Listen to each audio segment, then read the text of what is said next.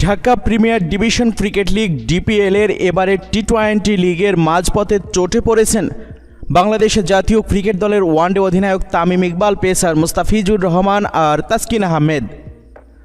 আর league শুরুর আগেই চোট পেয়েছেন লিটন কুমার দাস। চোটের কারণে গ্রুপ পর্বের শেষ কয়েক ম্যাচ খেলতে পারেননি কেউই। অনিশ্চয়তা তৈরি হয়েছিল আসন্ন জিম্বাবুয়ের সফরে তাদের খেলা নিয়েও। তবে জিম্বাবুয়ে সফরে এই চার ক্রিকেটারের খেলা নিয়ে শঙ্কার কিছু দেখছেন না। বাংলাদেশ ক্রিকেট বোর্ড বিসিবির প্রধান চিকিৎসক দেবাশিস চৌধুরী। আজ মিরপুরে গণমাধ্যমের সাথে আলাপকালে বিসিবির এই চিকিৎসক জানিয়েছেন সব কিছু ঠিক থাকলে জিম্বাবুয়ে সফরে যাওয়ার আগেই পুরোপুরি সুস্থ হয়ে উঠবেন সবাই। লিটন দাসের চোট পেয়েছেন শ্রীলঙ্কার বিপক্ষে ওয়ানডে সিরিজ শেষে। কবজির চোটের কারণে তিনি ডিপিএলে খেলতে পারেননি একটি ম্যাচও। আর প্রাইম ব্যাংক ক্রিকেট ক্লাবের হয়ে আট ম্যাচ খেলেছেন তামিম ইকবাল। হাঁটুর চোটের কারণে তামিম ইকবাল খেলতে পারছেন না সুপার লিগেও। বাংলাদেশ ক্রিকেট বোর্ড বিসিবির এই চিকিৎসক জানিয়েছেন জিম্বাবুয়ে সিরিজের আগেই সুস্থ হয়ে যাবেন দুই ওপেনারেই। লিটনকে নিয়ে তিনি বলেন লিটন রিস্ট স্ট্রেইনের সমস্যায় ভুগছেন গত দুই সপ্তাহের বেশি সময় ধরে। গতকাল ক্লাব ফিজিওর যে রিপোর্ট পেয়েছি, সেখানে দেখা যাচ্ছে ওর দুই হাতের শক্তি প্রায় স্বাভাবিক অবস্থায় ফিরে এসেছে। এখন ওর ম্যাচ অনুশীলনের দরকার। লিটন যখন অনুশীলন করবে বা ম্যাচ খেলবে, তখনই বোঝা যাবে ওর বর্তমান অবস্থাটা।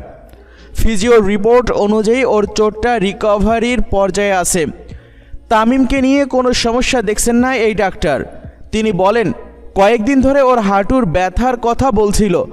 ওর সমস্যা নিয়ে আমাদের সাথে সবসময় যোগাযোগ রাখছিল। গত তিন দিন আগে ব্যথা বেড়ে যাওয়াতে ভবিষ্যতের কথা বিবেচনা করে আমরা সিদ্ধান্ত নিয়েছি, এটার এখনই পরিচর্যা দরকার এবং সেই মোতাবেক সে খেলা থেকে বেরিয়ে আসে। ও ফিজিওর তত্ত্বাবধানে এবং বিশ্রামেই আছে। ও বিশ্রাম নিলে তিন চার দিনের ভিতরেই ব্যথা কমে আসবে। স্ক্যান দরকার হলে আমরা করব, তবে আপাত দৃষ্টিতে মনে হচ্ছে বিশ্রাম নিলেই ভালো হবে এবং জিম্বাবুয়েতে সমস্যা হওয়ার কোনো কারণ দেখছি না। এদিকে লিগের মাঝপথে চোট পেয়েছেন জাতীয় দলের দুই পেসার, মুস্তাফিজুর রহমান আর তাসকিন আহমেদ। চোটের কারণে গ্রুপ পর্বের শেষ কয়েক ম্যাচে মাঠে দেখা যায়নি তাদের কাউকেই। দেবাশিস চৌধুরী জানিয়েছেন কয়েকদিন পরিচর্যা করলেই সুস্থ হয়ে যাবেন দুজন। জিম্বাবুয়ে সিরিজে চোটের কোনো প্রভাব পড়বে না। মুস্তাফিজ কোমরের ব্যথার কথা বলছিল আমাদের। যেহেতু আমাদের হাতে সময় কম, আমরা একটা স্ক্যান করিয়েছি ওর লো ব্যাকে স্ক্যানে চোটের কোনো কিছু আমরা দেখিনি। দুই একদিনের পরিচর্যায় ব্যথাটা অনেক কমে গেছে। আমরা আশা করছি যেহেতু স্ক্যানের রিপোর্ট ভালো, জিম্বাবুয়েতে এর কোনো প্রভাব পড়বে না। তিনি আরও বলেন তাসকিনের হাতে একটা বলের আঘাতে ওর নন বোলিং হ্যান্ডের প্রথম এবং দ্বিতীয় আঙ্গুলের মাঝখানে চিরে যায়। এই চোটটা ওর আগেও ছিল। যথাযথভাবে একজন কসমেটিক্স সার্জন দ্বারা ওর সার্জারি করা হয়েছে। যেহেতু নন বোলিং হ্যান্ড, ওর বোলিংয়ের সমস্যা হওয়ার কোনো কারণ দেখছি না। দুই একদিন পরেই বোলিং শুরু করতে পারবে।